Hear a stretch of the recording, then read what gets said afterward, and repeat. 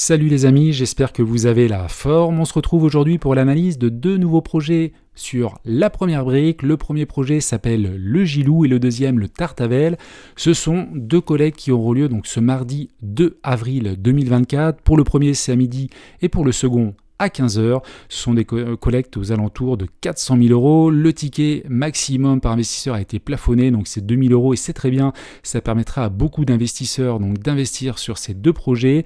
On est sur un rendement de 11%, c'est classique sur la première brique et une durée contractuelle donc de 24 mois pour le premier et 18 mois pour le second. Donc comme vous le voyez, il n'y a pas de caméra aujourd'hui, je suis en week-end, j'ai pas la caméra avec moi, mais c'est pas grave, on va bien sûr filmer bah, l'écran, notamment pour analyser la plaquette et également différents sites. Alors comme toujours, je vous rappelle quelques avertissements, il y a des risques en crowdfunding immobilier, bien sûr, de perte partielle ou totale du capital investi, également des risques d'illiquidité et de retard. Les performances passées ne préjugent pas des performances futures.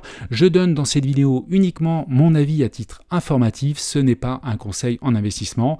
Et enfin, je partage des liens d'affiliation ayant des collaborations commerciales avec certaines plateformes. Alors, petit point sur mon tableau de bord, ça n'a pas beaucoup évolué, voire pas du tout depuis euh, ma dernière analyse, donc toujours 113 000 euros d'investissement en cours, 80 projet. 12,30% euh, de rendement moyen, bien sûr, c'est brut et ça inclut les codes bonus, sachant, sachant que si toi aussi tu veux découvrir la première brique, notamment avoir un petit boost d'un pour cent sur ton premier projet, ben écoute, il y aura un petit lien en description. Et pour les autres boosts à partir du deuxième projet et par la suite, ben écoute, sur ces deux premiers projets, on ne pourra pas ajouter le code LFL pour liberté financière Laurent. On n'aura pas donc la possibilité d'avoir ce bonus d'un pour cent. Alors, on va analyser de suite donc la plaquette, donc le gilou se situe à Mougins, à proximité immédiate donc de Cannes, dans le département des Alpes-Maritimes. Le projet consiste au financement d'une partie des travaux d'une opération de construction bien avancée portant sur deux villas respectivement de 90 et 250 mètres carrés, édifiées sur un terrain de 1572 mètres carrés. Donc comme on le voit, là on intervient en cours de route sur le projet, donc on va bien essayer de regarder euh, à quel moment on intervient et c'est toujours un petit peu plus difficile quand on intervient en cours de route d'avoir une bonne vision sur le projet. Enfin, c'est mon avis, c'est ce que je trouve. Euh, les travaux ont déjà bien progressé et les lots seront revendus clé en main sans VFA. Donc ça c'est positif, ça veut dire que sinon on apporte de l'argent, soit euh, il y a une banque, soit euh, bah, le porteur apporte énormément de liquidité, donc de fonds propres. 29% de marge euh, sur le chiffre d'affaires, c'est vraiment conséquent sur la construction, c'est vraiment pas mal. Euh, le porteur de projet, nombreuses opérations soldées avec succès, 20 ans d'expérience dans la transaction pardon, immobilière, donc ça c'est cool. Et en 2008, il s'est lancé dans le métier de marchand de biens et donc de promotion également immobilière. Donc ça c'est cool, beaucoup d'expérience a priori. Par contre, c'est la première fois qu'il fait appel au crowdfunding immobilier. Euh, concernant le financement, donc on a plusieurs euh, garanties, hypothèque de premier rang et caution personnelle, et on a vis-à-vis du foncier une couverture à hauteur de 163%. Donc ça c'est vraiment cool, et euh, bah, c'est déjà un point très positif avec également la marge. Donc c'est deux, points plus un opérateur expérimenté, donc déjà ça se présente pas mal. La synthèse, on y reviendra à la fin, et donc on va regarder ce projet. Donc là, c'est des super emplacements, hein. clairement près de, Cannes, Antibes, Nice. Superbe emplacement. Donc on va regarder ça. Donc on se situe ici, 225 chemin de Gilou à Mougins. Toc, on va regarder sur Google Maps. Hop. Donc je sais pas à combien on est de kilomètres de Cannes. On aurait pu regarder sur la plaquette. Allez. À vol d'oiseau, 7-8 km. Alors je vais zoomer donc ce qui est un petit peu embêtant avec Google Maps, c'est qu'en fait, il m'a perdu un petit peu. On n'est pas situé ici. On est situé, malgré l'adresse hein, qui est correcte, 225, on est situé ici. Donc on va le voir après, hein. vous allez voir, on va le confirmer grâce euh, au plan euh, sur, euh, sur la plaquette. donc là on a une maison et on va acheter toute... Enfin on est sur cette parcelle-là et c'est là où on va construire deux maisons. D'ailleurs deux maisons qui sont déjà bien avancées. Donc c'est cette parcelle de terrain-là, ça c'est la maison, il y a une petite rue qui part sur la droite et une rue qui part là, ici sur la, sur la gauche. Coin assez vallonné. Alors, on va revenir. Donc Mougins, bon, pas mal de, commerces. Alors en, population, on est à 20 000 habitants. Donc c'est vraiment euh, conséquent. Euh, bruit, bon, on a l'air excentré, donc très peu de, bruit, inférieur à 35 décimètres. Donc ça c'est cool. Revenu annuel moyen, j'aime bien regarder de plus en plus ces données-là parce que il y a des projets on est à 20 000. Dernièrement, j'ai vu des projets on est à 30 000, à 36 000 et on le voit avec la population euh, plus de 65 ans. Il y a de l'argent derrière. Donc ça, c'est un point positif. on voit également que la population a largement augmenté sur les dernières années. On va regarder ça sur Wikipédia. Hop, j'ai ouvert, donc on, confirme ici 20 000 euh, habitants, donc ça c'était en 2021. Et l'évolution de la population, vous le voyez, explosion, alors bien sûr depuis 2020, mais même depuis les dernières années, voilà, 10 000, 13 000, 16 000, 19 000, c'est un petit peu baissé entre 2006 2011, mais ça a réaugmenté après par la suite. Donc ça c'est bien, ça veut dire qu'il y a de la demande le coin attire. Et Mougins, ça a l'air vraiment sympa. Hein. J'ai regardé des petites vidéos sur, euh, sur bah, donc Google Images. Hein. Il y a des, c'est vraiment sympa. Moi, je ne connais pas personnellement, mais si vous connaissez, bah, n'hésitez pas à mettre des petits commentaires. Donc, on va revenir sur euh, la plaquette. Donc ça c'est ok, l'environnement ok, donc voilà le plan, ce que je vous disais tout à l'heure, la maison qui est déjà construite, et puis donc on va avoir une entrée. Alors je crois que là il y a des garages, je vais revenir ici. J'ai vu des garages en préparant la vidéo, hop c'est ici, tac j'ai vu des petits garages ici. Donc je ne sais pas si c'est lié à cette maison, c'est bizarre qu'il y ait des garages ici. Ou alors ça a été anticipé, peut-être pour la construction euh, par la suite, je ne sais pas, parce qu'il y a un parking. Ça, me surprend un petit peu, tous ces garages. Bon, passons, c'est pas un point non plus très très important. Donc on a des visuels, c'est parfait. On voit les petites montagnes derrière.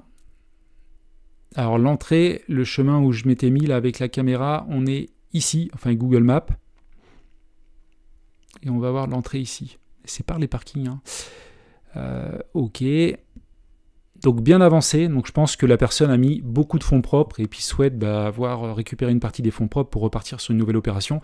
Parce que si la construction a déjà eu lieu, c'est-à-dire que l'urbanisme est clos et euh, voilà, maintenant il y a juste à, commercialiser la, les de l'eau. Donc ça c'est les visuels, donc là de février 2024, février, ok, ouais, même l'extérieur a été fait, les enduits sont posés, c'est cool. Donc la parcelle, comme je vous l'ai montré. Alors ce qui est intéressant, je vais vous montrer en, analysant, voilà, sur euh, DVF, hein, comme toujours, euh, allez voir.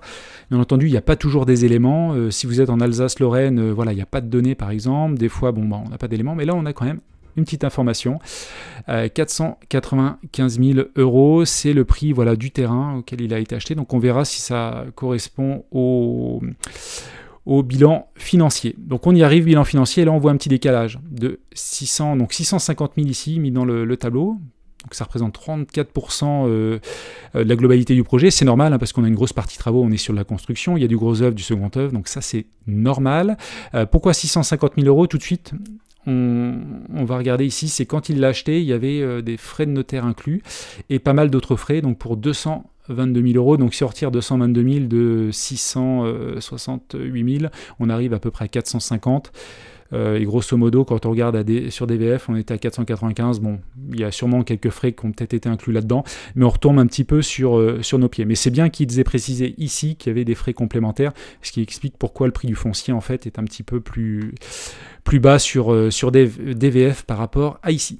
Alors concernant bah, les travaux, 54%. Alors l'enveloppe est faible, 5%, hein, mais après comme souvent j'en ai parlé avec quelques fondateurs, souvent il y a moins de risques sur la, construction que de la rénovation, parce qu'en rénovation, euh, quand on casse, on peut trouver voilà, des, pas mal de choses et des aléas. Là, si les études de sol ont été faites, logiquement, tout est cadré euh, au niveau de la construction et normalement, il y a assez peu d'aléas. après, j'ai pas d'expérience, hein, n'hésitez pas à me faire des remarques en commentaire là-dessus. Moi, j'ai fait principalement des rénovations, enfin que des rénovations, j'ai jamais fait de construction, mais si vous avez des remarques là-dessus, n'hésitez pas. Alors, le gros œuvre 300 40 000 euros. Viabilisation, terrassement, réseau, 150 000 euros. Pas de souci. Extérieur, espace vert, là également, souvent, hein, des retours que j'ai, ça, on le sous-estime, mais c'est vraiment un gros billet. Euh, et puis après, tout le reste, c'est classique, hein, menuiserie, peinture, plâtrerie. N'hésitez pas à analyser les chiffres hein, si vous avez une expertise. Ça m'intéresse parce que des fois, j'ai eu des retours comme quoi c'était sous-évalué, surévalué. Donc, c'est intéressant d'avoir des retours. Euh, donc, euh, après, on a une maîtrise d'œuvre, coordination, ok. Honoraire de la première brique, 6% c'est pas énorme par rapport à d'habitude. Souvent on a plus. Alors probablement parce qu'on a terminé en cours de projet, je ne sais pas. Et donc la maison, euh, la villa 90 mètres carrés, la villa 250 mètres carrés avec piscine revendue à 2 100 000. Donc on a vraiment de l'eau euh, assez différent. J'ai pas souvenir. je crois que 90 mètres carrés, ça va être la première maison. Et la grosse maison est derrière avec la piscine, c'est ça. Donc la grosse maison est vraiment un petit peu plus à distance de la route. Alors, 2 millions quasiment de prix de revient, prix de vente 2 700 000, 30% de marge, donc c'est colossal. Le prix de sortie quasiment 10 000 euros, donc on va regarder ça. Euh, le foncier, on en a parlé. Les travaux, ok, 5% de marge, donc les travaux sont d'ores et déjà, je vais y arriver, lancés. La petite maison est déjà en peinture. La maison de 250 mètres carrés est quant à elle bientôt hors d'eau, hors d'air. Ça veut dire qu'on va bientôt passer à la commercialisation. Donc j'avance encore un petit peu. Côté urbaniste, tout est clos depuis le 5 mars 2024. Euh, ah non, je, dis une bêtise. Tout a été purgé le 21 mai 2023. Ok. Un transfert de permis a été obtenu au profit de notre porteur le 5 mars 2024. Ok, donc nous on intervient après. Donc tout est cadré côté urbanisme, côté commercialisation. Apparemment, le porteur veut euh, assumer lui-même et assurer donc la commercialisation de ses biens. Donc ça, c'est noté, sachant qu'il a déjà une, une, agence immobilière, euh, il maîtrise les transactions c'est un professionnel de, voilà, sur cette partie-là, donc ça c'est vraiment cool et c'est sécurisant pour, euh, pour la revente. Donc on sort à 9006, le prix, euh, bah, on est entre la fourchette moyenne et la fourchette haute, plutôt proche de la fourchette haute, mais c'est normal, on ressort avec euh, des biens totalement neufs. Donc le prix visé est dans la fourchette haute des prix pratiqués à Mougins, du fait que notre porteur de projet propose à la vente de biens neufs avec des prestations haut de gamme. Donc ça c'est OK. Euh, là-dessus, on va regarder quand même sur meilleurs agents. Hein. C'est toujours bien d'aller regarder. Donc là, vis-à-vis, pour des maisons, on est à 10 500. Donc ça correspond à, ce qui est indiqué sur la plaquette. Donc pas de souci là-dessus. On peut regarder l'évolution du prix au mètre carré. Et ça, c'est génialissime, clairement. Alors c'est pour des appartements, on va regarder les maisons après, euh, mais belle augmentation, il y a de la demande, et concernant les maisons, bah, c'est pareil, c'est magnifique. Plus 30, plus 20, plus 3, plus 4, même de, ça connaît pas la crise en fait, hein. comme je dis toujours, euh, région PACA, euh, dans le sud de la France, la Haute-Savoie et d'autres endroits connaissent pas la crise, et ça c'est vraiment top, donc le marché est porteur. Je descends, donc étude de marché, ok, transaction, on va pas s'attarder là-dessus. Le marchand on en a parlé, beaucoup d'ancienneté, plus de 10 projets euh, finalisés, et c'est la première fois qu'il fait appel euh, au crowdfunding immobilier. Donc il a une société euh, depuis 2007. Alors j'ai vu les ratios, je vous laisserai les voir, c'est un ratio je crois de à peu près 1 pour 4. Donc un petit endettement, après bon, rien de bien inquiétant a priori, mais je vous laisse analyser en détail à votre niveau cela. On a quelques historiques de projets. Donc toujours dans le même département, donc ça veut dire qu'il maîtrise vraiment bien l'environnement, donc ça c'est top. Et euh, bah, la caution personnelle, c'est bien qu'elle soit prise. Et puis on, on, a une couverture hypothécaire de 163 000 euros. Donc ça c'est OK. Alors sachant quand même, couverture hypothécaire de 163 000 euros, je mets quand même un tout petit bémol par rapport à DVF, où, comme je vous l'ai montré tout à l'heure, on est à 495 000 euros.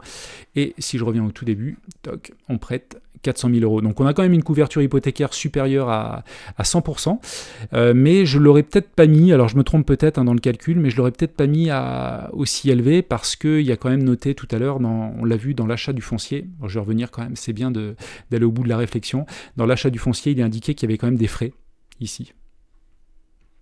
Et donc euh, voilà, c'est à prendre en compte, mais on a quand même une couverture hypothécaire supérieure à 100%.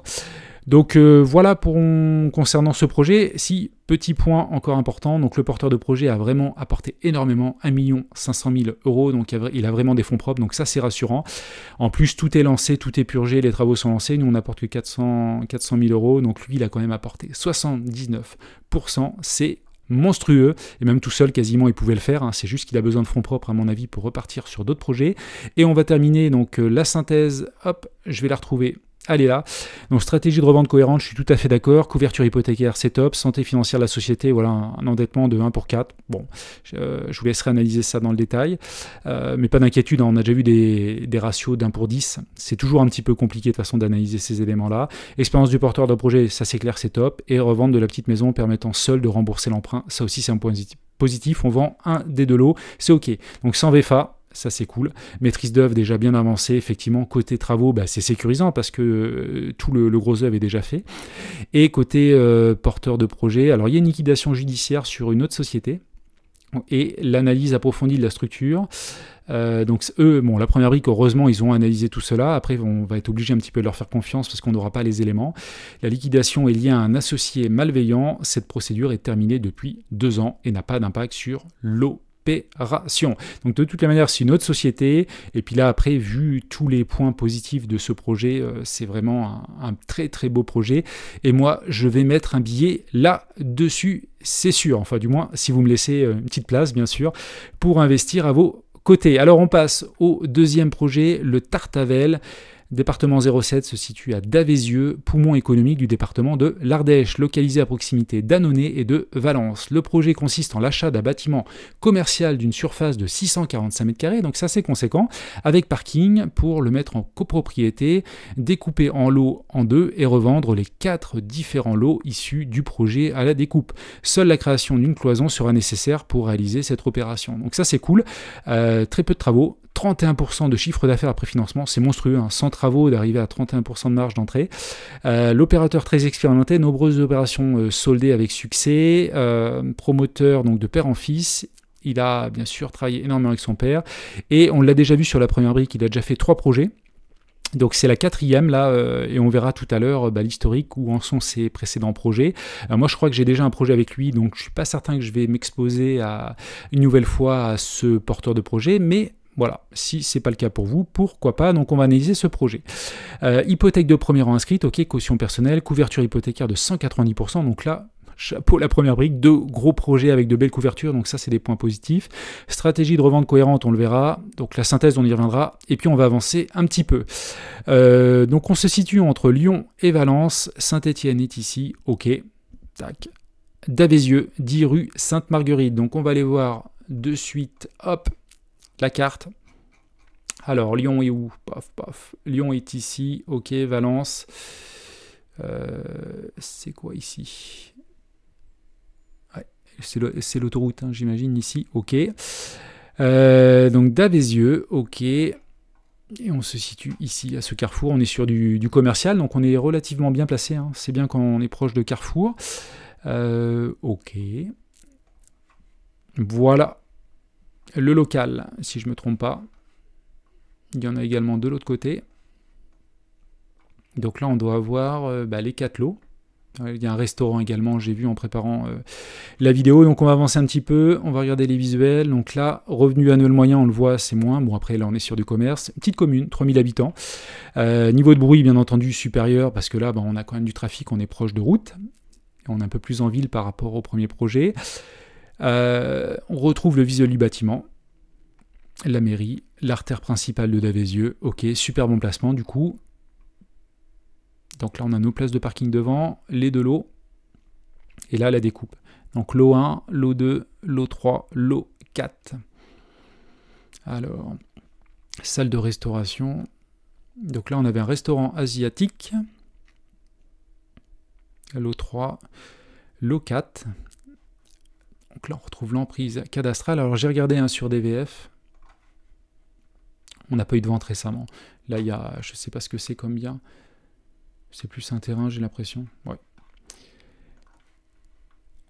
Alors, on va avancer. Donc, comme je vous l'ai dit tout à l'heure, pas de travaux. Donc, le foncier représente 89% du projet. Ça, c'est vraiment génial. La première brique, donc 9%, on est sur 4 lots, alors 844 euh, 000 de prix de revient, prix de vente envisagé 1 225 000. La marge sur CA 31%, c'est énorme, le prix de sortie 1900 euros le mètre carré, donc là ça va être un petit peu plus compliqué d'analyser cela parce que c'est du commercial. Alors au niveau du foncier, ok, travaux, pas de souci, il y a juste une division, donc c'est vraiment un excellent point, ça, euh, pas d'urbanisme, parfait. Et commercialisation à date. Donc là, il y a tout un petit euh, j'ai envie de dire. Il y a quatre lots sur le projet. Euh, il était parti dans une stratégie de revendre la globalité, a priori, une revente en, bloc. Mais Emmanuel a reçu, donc, le porteur de projet, plusieurs touches intéressantes. Euh, sur une vente à la découpe. et par ailleurs lui-même en discussion avec une banque pour l'acquisition du lot 4 grâce à un refinancement. Euh, ce changement de stratégie donc euh, a été opéré au cours du dernier mois, ce qui explique l'absence de préco. À date, ok. Donc notre porteur a toutefois réalisé des opérations, donc il connaît bien la commune et il a déjà eu des actifs similaires dans, dans, le coin. Donc ça c'est positif. Bien entendu, là, il n'y a pas de meilleur agent, alors je peux vous le montrer, hein. on va prendre juste deux secondes. on a le prix au mètre carré pour des maisons ou des appartements. C'est rare, hein. d'ailleurs, là, le prix au mètre carré pour l'appartement est supérieur par rapport aux maisons. Donc on est aux alentours de 2005, mais bon, pour du local commercial, c'est différent. Là, on sort, comme je l'ai dit, hop, on est à 1900. Et donc on voit qu'il y a eu des ventes. Alors je ne sais pas si c'est des ventes ou des, ou des, transactions déjà réalisées ou pas. Donc là, on a 2000, 1007, 2000, 1400, 3000 ici. Bon, ça c'est important. Euh, dans le cadre de cette opération, Emmanuel vise un prix de revente de 1900 pour les différents locaux commerciaux dégagés par cette opération. Le prix visé est dans la fourchette moyenne des prix pratiqués sur Davézieux. Ok, et il a par ailleurs vendu un bien à 150 mètres du projet, donc c'est cool ça, en 2022, donc il y a quasiment deux ans, je pense, au prix de 2760 euros le mètre carré. Donc je pense qu'il connaît très très bien l'emplacement, et euh, voilà, je pense qu'on est euh, au niveau du prix de sortie bah, cohérent, même aussi par rapport à ce qui euh, est proposé voilà, sur, sur sa carte. étude de marché, ok. Alors on va regarder d'ailleurs, j'ai pas, hop, l'évolution du marché. Donc là pour les appartements, Bon, après, euh, c'est pas représentatif obligatoirement des commerces, mais on a une petite baisse depuis deux ans. Bon, après, c'est pas du moins 8% comme on le voit dans certaines zones. Petite baisse ici aussi, bon, pas de souci. Et on va continuer. Le porteur, donc beaucoup d'expérience. Donc on l'a déjà analysé, hein. je déjà, j'ai fait une vidéo récemment sur ce, ce, porteur de projet. Donc il a une société avec son père. Donc lui, il a que 2,75% et c'est son père qui a le reste. Les ratios sont très très bons hein, sur la société, enfin meilleurs que sur la, première, même si sur la première c'était pas non plus euh, très très inquiétant. Euh, l'historique de projet, alors euh, je crois que c'est celui-ci que j'ai pardon, que j'ai présenté récemment en, vidéo, l'esplanade. C'est ça. Et donc on arrive à une caution personnelle 474 000 euros. On a une couverture hypothécaire de 190%, donc ça c'est très très positif. Donc je pense que le porteur doit mettre aussi un bon petit billet. Donc on a la couverture euh, OK sur, les euh, le, sur le bien et on arrive à quasiment 50-50, voilà, 53% d'apport euh, du porteur, 47% la première brique, donc ça c'est vraiment génial. Et donc on va terminer sur la synthèse de la première brique pour voir si on est, on est OK avec eux. Stratégie de revente cohérente, moi je pense que vis-à-vis du prix au mètre carré on est bon. Couverture hypothécaire, bah, ça c'est un point très positif. Santé financière de la société très positif, hein. je vous laisserai analyser bien sûr les bilans. Expérience du porteur de projet ayant réalisé, euh, donc ça c'est certain qu'il y a l'expérience. Après attention, voilà, c'est le point faible, bah, moi je suis déjà sur un des projets, donc je pense que j'irai sur ce projet-là. Je vais vraiment euh, me positionner sur le premier. Porteur de projet avec un encours. Donc il a déjà eu un remboursement intégral, un autre projet, et partiellement pour un autre, donc attention à votre exposition. Absence de préco, là aussi, euh, bon, petit point de fragilité, mais comme sur l'autre, hein, c'est pareil. Euh, mais a priori, on n'a pas un prix au mètre carré totalement déconnecté de la réalité. Donc dites-moi, vous, si vous préférez plutôt bah, le, le, premier projet ou le deuxième, donc mettez-moi le Gilou ou le deuxième, ou alors dans ce cas-là, bah, le mot rien si vous voulez pas investir sur un des deux projets. Quoi qu'il en soit, euh, venez avec nous, voilà, continuer la discussion sur ces deux projets sur le groupe Telegram ou le groupe Facebook. Et puis moi, je vous dis à une prochaine pour une nouvelle vidéo. Ciao